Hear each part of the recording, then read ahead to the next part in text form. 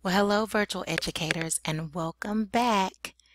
I'm Kellie Alston, the facilitator of your learning for the LTVD mini course, and in this video, we are going to go over steps four and five with suggested time frames. Now we're only doing these two steps because now we are getting into the thick of it and this is where you're going to see that your students cognitive abilities are going to be enhanced. You're going to see that they're going um, from lower level thinking up to higher order thinking um, during this LTD, LTVD process and so I wanted to take you slowly and so in this video we're only going to do two of the steps. All right, in step four, it's called the identification and discussion of major themes, topics, and subtopics. So what happens here? Well, there are two parts to this section, which is going to take them about 20 minutes. Now let me say that these time frames are just estimates. It may take them longer than 20 minutes. It may take them less than 20 minutes. And there are a lot of factors um, that play into this. So one of the factors might be how um, savvy they are, how efficient they are, or how, how well they have mastered this process. So in the beginning, it may take them this whole 20 minutes and even longer as they go through this process uh, repeatedly, um, depending on how your class is structured. So if it's weekly, as, as they go through this process each week, they will get better and better. Um, so these time frames, they may finish them quick quicker than what I have here and then they can just go right on into the next step. So don't get stuck on you know this 20 minutes this is just an estimate. All right and then each group is also different.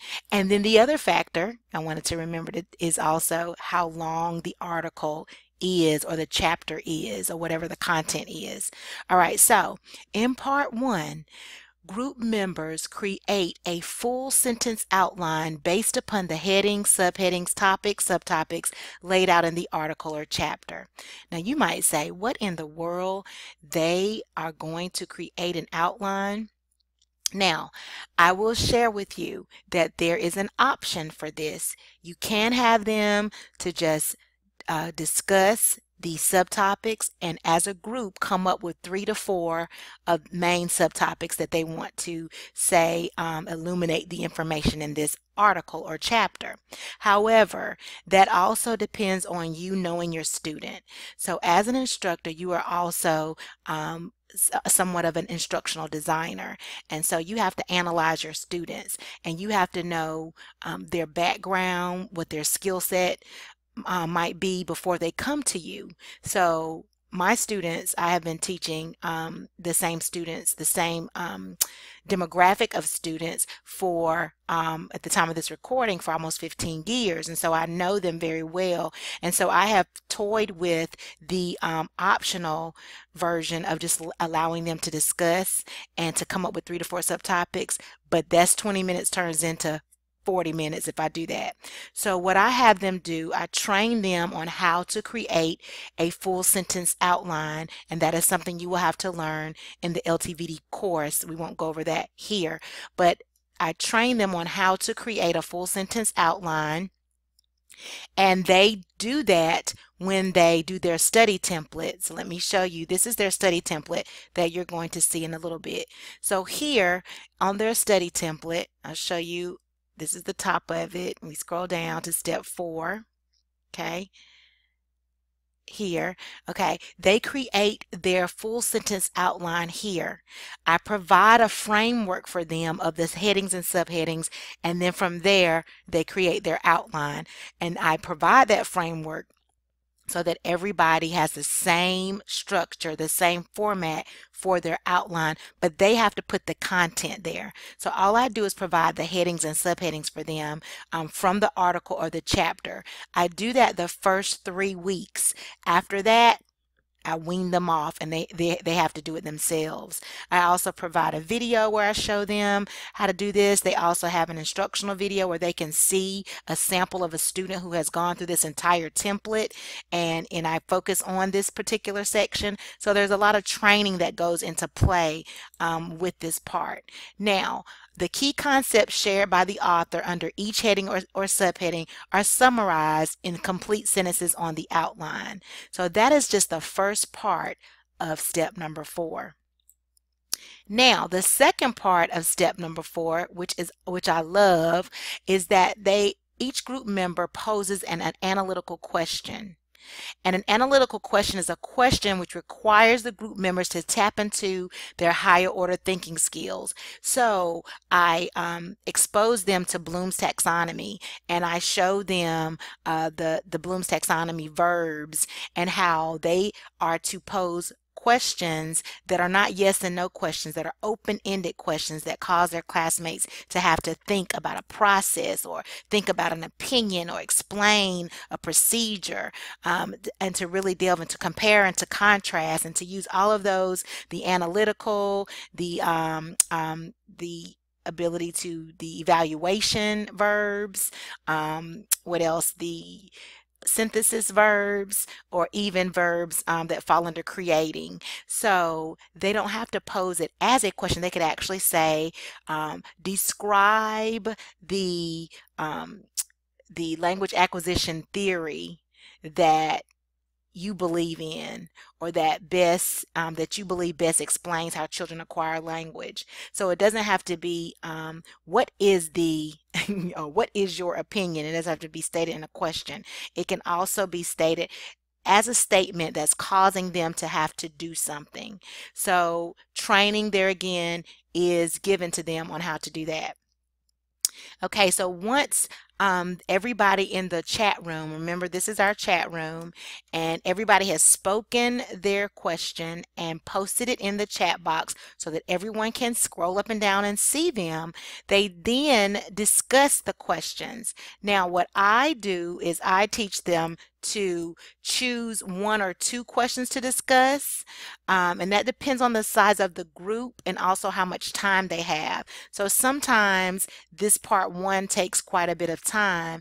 And so the discussion part, um, in order for them to have um, an effective and a powerful discussion and an in-depth discussion, they can't discuss everybody's question. So they basically vote on the on the question that they want to talk about the most. And if they have some more time, then they talk about a second question. So we just kind of focus on one or two questions during this time because we really want them to be able to sit back, relax, and really answer those questions. And so on their template, um, if you look here on their template, um, they prepare their analytical questions here. And the, and the third one is optional. And the reason why I have them compare one or two, prepare one or two is because, you know, if someone else kind of poses a question similar to theirs and they have something else to fall back on. And then some of them will be, you know, conscientious and overzealous and, and, and they will come up with a third question. So all of this that I want you to know is is is pre they prepare for this before class. This is not something they're doing when they come to class, but they have already filled out this template before class. And you will learn how I'm assured of that when you take the LTVD course. All right, so let's move on to step number five. So step number four, we've identified and discussed the major themes and subtopics. Now in step number five, we want to integrate and apply this material to other works. What does that mean? Group members discuss the meaning or usefulness the material has for understanding other concepts. They also point out other ideas the material substantiates, contradicts, or amplifies. Okay, so going back to this template here, how do I, how do they know to do this? Well, the template says to them, how does the information help you understand other concepts? Does it confirm something that you already knew? Does it contradict any ideas or beliefs that you already had?